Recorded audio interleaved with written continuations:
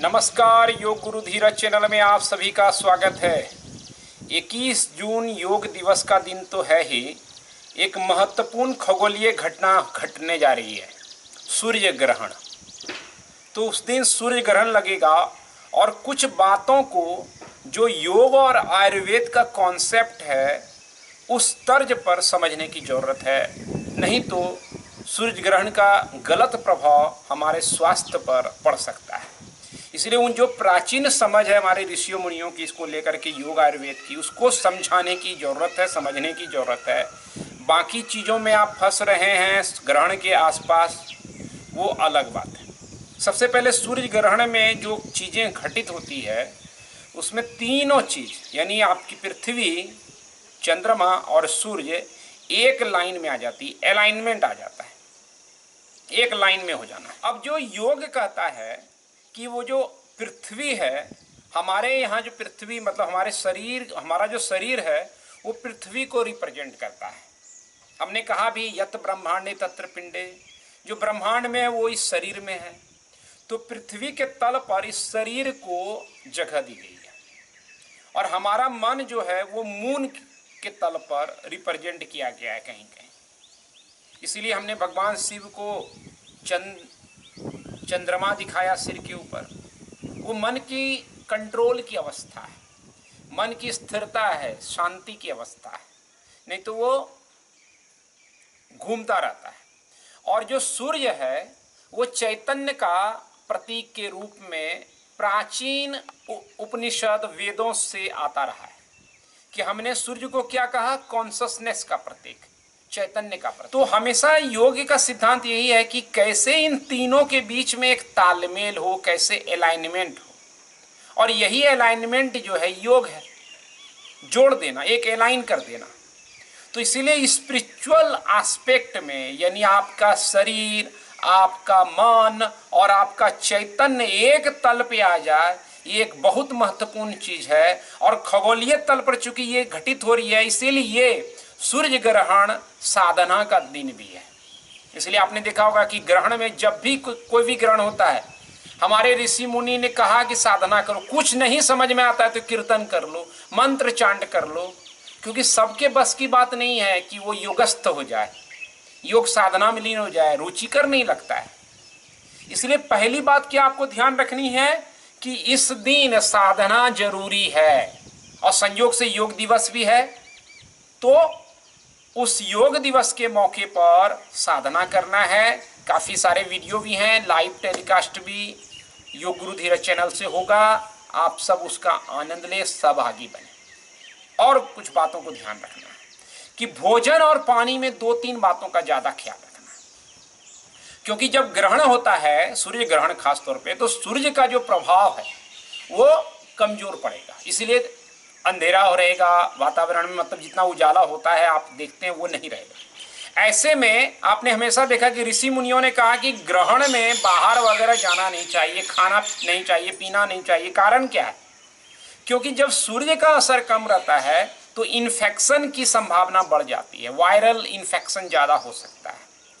और ख़ास तौर पे गर्भवती महिलाओं को भी बाहर जाने की सख्त मनाही है।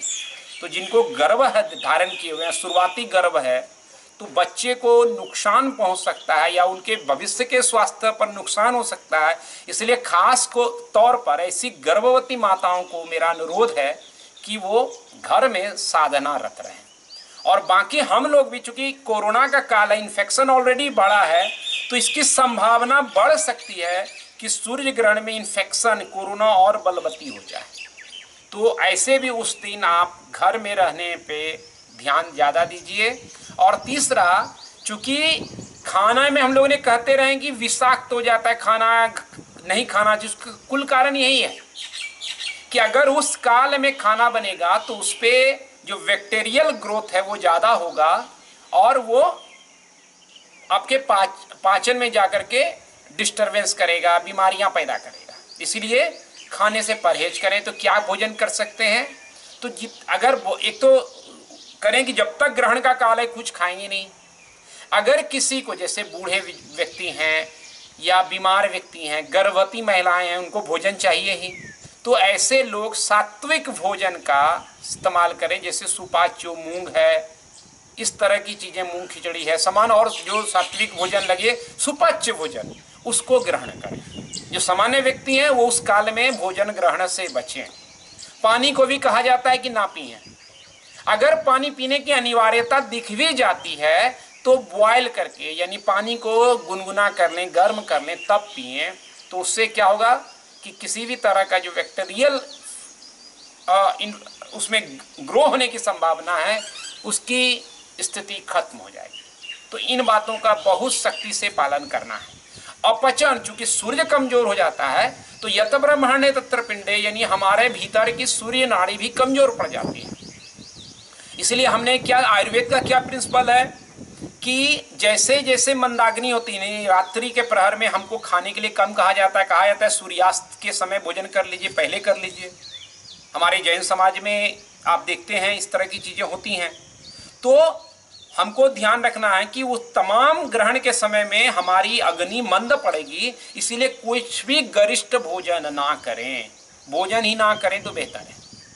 लेकिन कंडीशन बता दिया है शर्तें कि क्या है तो उसको ध्यान में रखें। अपचन, खासतौर पे जो रोगी हैं, पेट से संबंधित रोग वाले, वो व्यक्ति ज़्यादा परहेज करें और ख्याल रहे सूर्य ग्रहण को देखने के लिए आप खुली आँखों से, नंगी आँखों से कभी प्रयत्न ना करें। आँखों को नुकसान हो सकता है। रेटिना का कई सारा सेल डैमेज हो सकता है। और हम लोग के अनुभव में ऐसा आया है, जब हम लोग गाँव में थे, छोटे थे तो देखा कि इस तरह की हट धर्मिता के कारण लोगों को आँख नुकसान हुआ? तो इन बातों का ख्याल रखना है, गर्भवती महिलाओं को खास तौर पे ध्यान रखना है। किसी को अगर इम्यूनिटी जिनकी कमज़ोर है, वो तो बिल्कुल ही बाहर ना जाए। वो ध्यान करें, मंत्र करें, कीर्तन करें, योग साधना करें, और जितना आप समान चंद्र नाड़ी को संतुलित करने वाली साधना करें। ज़्यादा इंटेंसिव साधना करने की ज़रूरत नहीं है, सहज तरीके से जो हो सकता है खास तौर पे जो काल है उस समय। और टाइमिंग आप जानते होंगे ग्रहण का क्या है, उस काल में खास तौर पे इन तमाम बातों का ख्याल रखें तो आपको किसी भी तरह की ग्रहण को लेकर के अनिश्चितता या चिंता की आवश्यकता नहीं। बहुत बड़े बड़े जो ग्रहण के आसपास जो डर, भय का वातावरण बनाया जाता है, वो बिल्कुल व्यर्थ है, उससे बचे इसके पीछे का जो ऋषि मुनियों ऋषि मुनियों का जो साइंटिफिक योग की दर्शना रही है, आयुर्वेद का जो शरीर विज्ञान का सिस्टम है, उसको ध्यान में रख करके इन तमाम लॉजिक को ही अपने जीवन में करें और इन बारीकियों को ख्याल रख करके योग साधना में मग्न रहें और हर ग्रहण के वक्त इन चीज़ों का खास ख्याल रखें। तो आज इतना ही। एक अलाइनमेंट हो आपका शरीर का, मन का और चैतन्य का और आपके अंदर का परम तत्व जागृत हो, ऐसी शुभकामना वशिष्ठ योगाश्रम से आप सभी के लिए आज इतना ही। धन्यवाद। नमस्कार।